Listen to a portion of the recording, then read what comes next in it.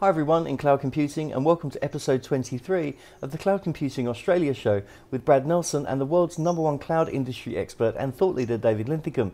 This show is sponsored by Nelson Hilliard, cloud computing recruitment specialists, placing great people in cloud, IoT, fintech and AI. In this week's show, Dave and I will be talking about a global study by Oracle and KPMG of business technology and IT security professionals has found Australian organisations remain skeptical about the security credentials of major cloud computing providers and are worried staff are disregarding mandated procedures. Hi, Dave. Great to see you this week. Yeah, it's great to be here too. This is an interesting study because uh, you know ultimately, if you look at Oracle, Oracle's kind of uh, at odds with the big cloud providers such as Google, uh, Microsoft, and uh, and AWS. So they have a bit of a conflict of interest here. Um, obviously, they want to see slow down the cloud adoption so they can gain, uh, you know, gain some more traction. Uh, so I would consider that when looking at the study. But you know, the, the larger issue is I think people are concerned about security, and uh, they're um, you know they're they're not doing what they should do in order to secure their systems, generally speaking. So you're right about that. But as far as uh, whether this should scare you away from cloud computing or not, uh, I think that's kind of a bigger question. The reality is it should basically make you a better security person, you know, rather than actually moving away from the technology, which they're asserting here. So, th- so this is just fear tactics from those that stand to lose the most from the rise of the public clouds, then, Dave. I think partly. I think there's some truth in this. I think that people are uh, can become better at security uh, in, in, cloud. And uh, you know, obviously, I'm busy running around advising people on how to be good, secure cloud cloud uh, customers. But uh, you know, at the end of the day, there's a bit of a conflict of interest here from you know Oracle's a cloud provider, and obviously they're not going to put out something that's against themselves.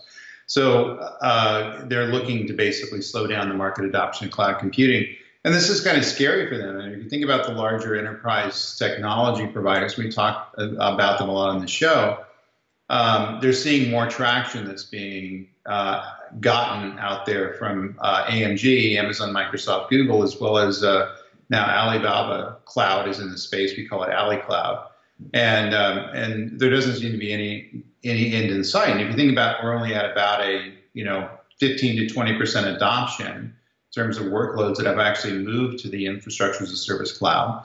There's lots of additional revenue to be had and lots of different additional workloads, including the ones that are owned by the big technology providers that can be outplaced on the public cloud. And so we're going to see things like this, you know, from time to time where it's going to be calling security into question, compliance issues, things like that, to kind of scare people away from looking at the cloud. But the reality is that they should be skeptical uh, in terms of looking at their own security, but scared no. They should look at any technology that's coming down the line that can improve their position in doing IT as an opportunity for them to improve their ability to support the business, which is why we're in the in the in the technology here.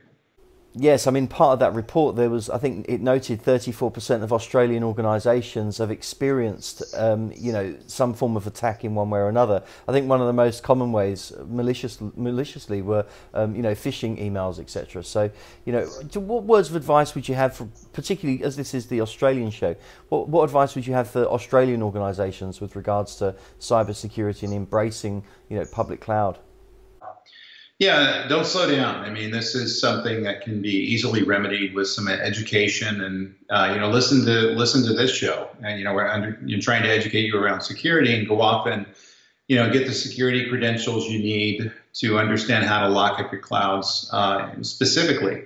The, the attacks you're seeing though aren't really going to be on cloud-based systems. They're more or less going to be on the on-premise-based systems because those are the most vulnerable. So the phishing scam has the phishing scams have a tendency to point you into the internal systems that you're leveraging versus the cloud-based systems because the hackers know that if they try to attack the cloud-based systems, whether it's DDoS attack or man in the middle or whatever, the cloud systems are typically going to sense them and block their IP addresses uh, automatically, where you may not have that capability with your on-premise stuff. So you can be, for certain, uh, more secure in the cloud and now's the time to start taking steps to understand how that happens and how that how you need to make that possible. Uh, don't run away from technology just because you're scared of it. Uh, leverage technology in the ways in which the technology is designed to be leveraged and think about your own security. And you know, for God's sakes, you know, work from your requirements to the technology versus from the technology back to your requirements.